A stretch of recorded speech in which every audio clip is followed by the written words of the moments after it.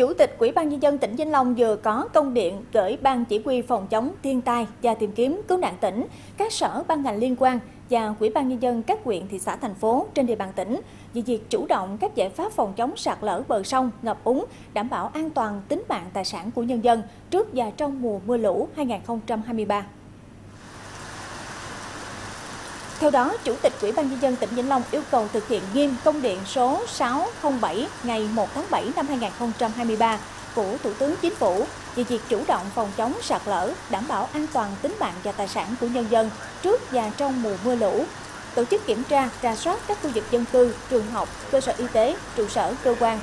Theo dõi diễn biến khu vực có nguy cơ sạt lở, phối hợp kiểm tra, ngăn chặn khai thác cát, xây dựng công trình nhà cửa trái phép, sai phép, làm ảnh hưởng hoặc gây sạt lở bờ sông kênh rạch. Đặc biệt là chỉ đạo các đơn vị chuyên môn tổ chức ra soát hiện trạng các công trình thủy lợi nhỏ, thủy lợi nội đồng đã được phân cấp quản lý khai thác. Theo dõi chặt chẽ tình hình thiên tai, chủ động chỉ đạo kiểm tra, đôn đốc các địa phương triển khai công tác phòng chống, khắc phục hậu quả, hạn chế thiệt hại do ngập úng, sạt lở bờ sông rạch gây ra.